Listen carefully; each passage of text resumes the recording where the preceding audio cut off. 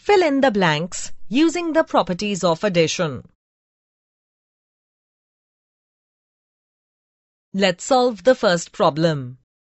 3,42,627 plus dash is equal to 3,42,627. Let's recall that the sum of any number and zero is the number itself. Hence, fill zero in the blank. Let's solve the next problem.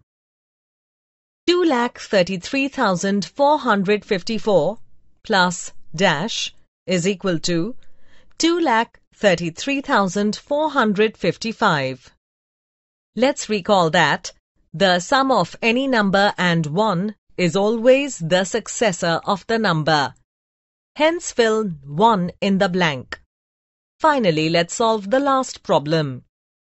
5,62,456 plus 56,234 plus 3,45,236 is equal to 5,62,456 plus dash plus 3,45,236.